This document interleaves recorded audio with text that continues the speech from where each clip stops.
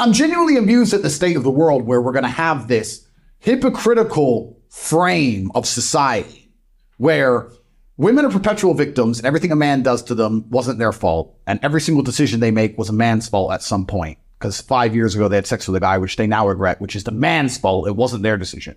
And they're victims who should be protected and believed in all regards.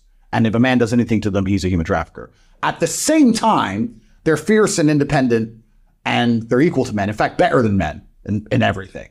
And we've put these two frames together at, in the same society. And we're sitting here going, so if, if the truth is, if a woman can't be trusted to make her own decisions, she should be listening to her father.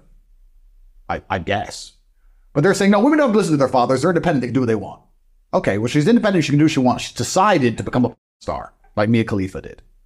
And then when she regrets doing she starts doing videos saying, my manager tricked me.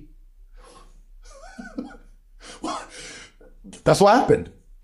If your manager can convince you to do porn, Wasn't three- she making hundreds of millions on OnlyFans as Oh, well? oh, yeah, she's making hundreds of millions so, so did he trick her into that? Of course he did. Yeah. So if your manager can trick you into having sex with 300 men for hundreds of millions of dollars over a period of six years, oops, then perhaps, then perhaps you should do as your dad says.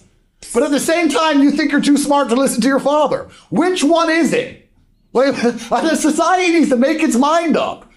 The whole thing is a joke.